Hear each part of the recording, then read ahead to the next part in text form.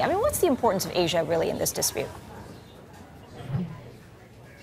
Uh, yeah, well, absolutely. I, I, think it's it's crucial that the, the centre of gravity for the global energy market has shifted in recent years. Um, go back to the big, um, you know, Gulf disputes of the past, the 73, 1979 um, uh, oil crises, uh, 1989, the, the, the, first Gulf War, 2003. Uh, the US and Europe consumed about half the world's oil exports, more than half the world's oil exports at that point.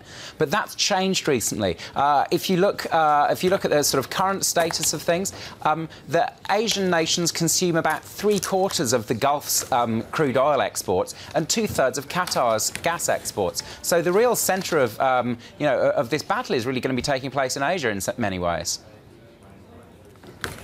Yeah, so uh, what we're curious about is which side, if uh, Qatar or the Arab nations that are allied against it, uh, which side has the advantage here when it comes to these Asian nations? And you can see here on the Bloomberg, the chart, G hashtag BTV space 9178. Uh, David, if you can just hang in there, we can show our viewers what imports from Qatar to Japan and South Korea have done. This is, of course, from Qatar, the LNG market. That Those imports have slowed, in fact, and, and this at a time when uh, just LNG prices have stood uh, relatively steady uh, since uh, 2011 to 2017. That's the second panel. So uh, when you're looking at it in the broader context of who wins in this Gulf uh, crisis, what can you tell us?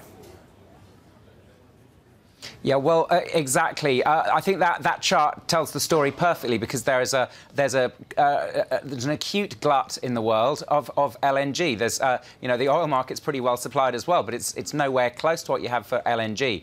Uh, let's look at Japan, the world's biggest LNG importer.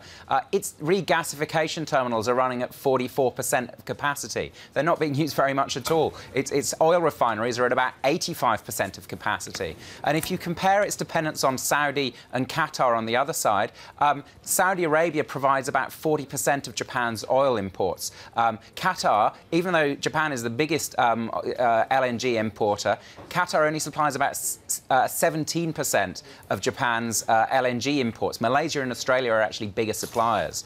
Um, so that would you'd say that would be advantage Saudi. And after all, crude is a much bigger market. It's uh, uh, about 3 billion million tons a year of, of oil are traded compared to about 300 million of, of LNG.